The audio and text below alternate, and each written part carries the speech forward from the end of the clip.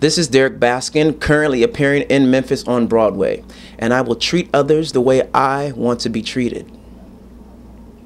What I remember about September 11th is the morning and the hours, the moments before the planes actually hit the towers. I remember that morning being just one of the most beautiful mornings that I have ever seen. I had moved into my first apartment by myself the night before, September 10th, around 9 p.m.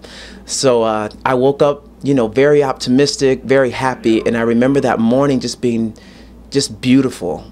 And then hearing the news and being in disbelief and watching the television and then going to the roof of my building and actually seeing the uh, effects of the planes hitting the towers and how it just you know, how it just broke my heart. And I remember seeing the the smoke from way downtown. I was at the top of Manhattan where I used to live and seeing the smoke from Lower Manhattan was just uh, an experience that I will never forget. What will you do this September 11th?